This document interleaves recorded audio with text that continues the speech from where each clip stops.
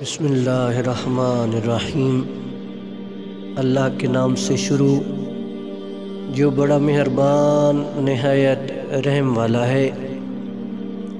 इल्म एक दरख्त है, अल्फाज उसके पत्ते हैं, और अमल उसका फल है। अच्छी चीज़ों में ख़ुद को मसरूफ़ नहीं करोगे। तो बुरी चीज़ों में खुद ही मसरूफ़ हो जाओगे।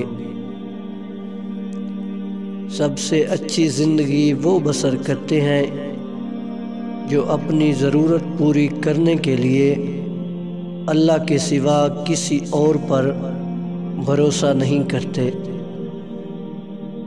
बुरा वक्त वो शफाफ ऐना है जो बहुत से चेहरे साफ़ कर देता है। और अच्छा वक्त ऐसा बादल है जो तेज़ धूप को भी रोक लेता है। बदला लेने से पहले ज़रूर ख्याल कर लिया करो कि तुम अपने अल्लाह के नज़दीक कितने कसूरवार हो। दिल एक ऐसा आयना है, अगर ये बदी से पाक हो तो इसमें सब कुछ नज़र आ सकता है।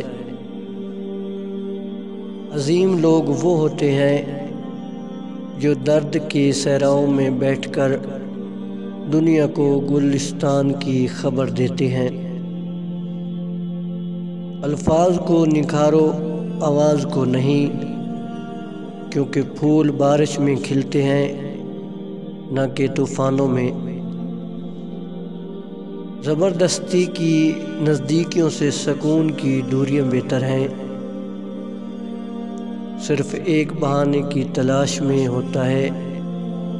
निभाने वाला भी, जाने वाला भी। मुस्कुराहटें झूठी भी हुआ करती हैं, जनाब। इंसान को देखना नहीं, समझना सीखो। जिसको शुक्रगुजारी की नेमत अता हुई उसे मज़ीद नियमतें हासिल होने से कोई नहीं रोक सकता। तलब मार डालती है, अगर रब के अलावा किसी और से हो। किसी की हौसला शिकनी मत करो।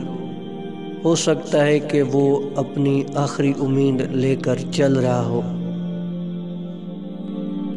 आजमाए हुए की दोबारा आजमाइश करना और हर शीरी ज़ुबान को दोस्त समझ लेना ख़तरनाक है।